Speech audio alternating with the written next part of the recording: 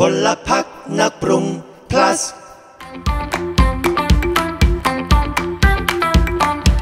ในสูตรนี้นะครับเราจะใช้ผงกาแฟนะครับ แล้วเราก็นำนมนะครับ ไปเข้าไมโครเวฟให้มีลักษณะอุ่นๆเล็กน้อย ใส่ลงไปเลยครับ เพื่อ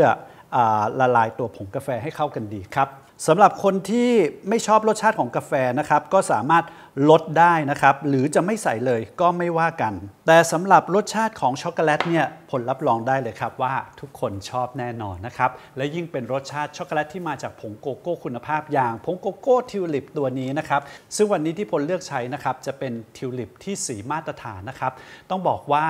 สามารถใช้ทำได้ทั้งเครื่องดื่มเบเกอรี่ ทุกชนิดนะครับ ซึ่งวันนี้เราจะนำมาเป็นส่วนประกอบของการทำคุกกี้ และรสชาติของผงโกโก้ตัวนี้เข้ากับรสชาติของกาแฟได้ดีเหลือเกินครับ และที่สำคัญผงโกโก้ตัวนี้ผลิตจากเมล็ดโกโก้คุณภาพจากแอฟริกาด้วยครับ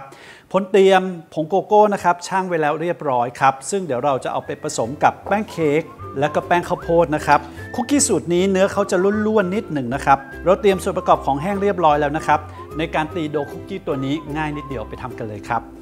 ใส่เนยลงในชามผสมนะครับตีเนยพอให้นุ่มดีครับ ใส่น้ำตาลไอซิ่งตามลงไป ตีให้เข้ากันครับ หลังจากนั้นเราจะแยกไข่แดงไข่ขาว ในคุกกี้สูตรนี้เราใช้เฉพาะไข่แดงครับ ใส่ส่วนผสมกาแฟที่เราเตรียมไว้ตามลงไปครับ ตีให้เข้ากัน ร่อนส่วนประกอบของแห้งที่เราเตรียมไว้ลงไปครับ ใช้พายางคนให้เข้ากันครับ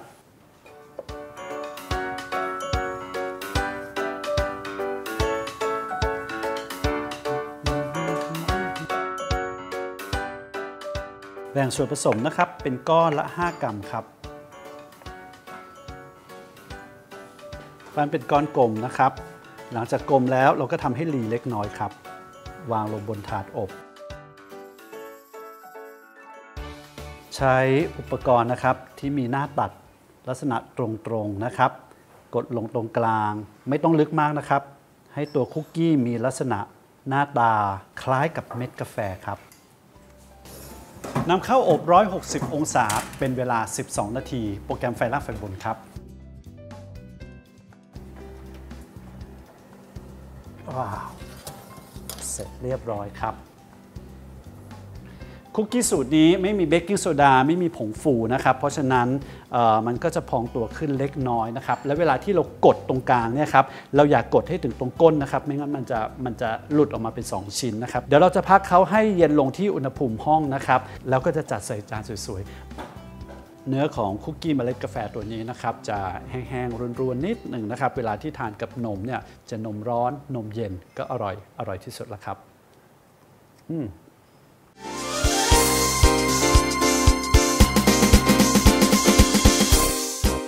าสูตรนะครับ แล้วก็สามารถรับชมคลิปทำอาหารของเราย้อนหลังได้ที่ www.ponfoodmafia.com ครับ และเพื่อให้ใกล้ชิดกันมากขึ้น เพื่อนๆ สามารถสื่อสารกับเราติชมรายการได้นะครับ ผ่านทางช่องทางโซเชียลมีเดียไม่ว่าจะเป็น Facebook YouTube IG TikTok และก็ Line แอดครับ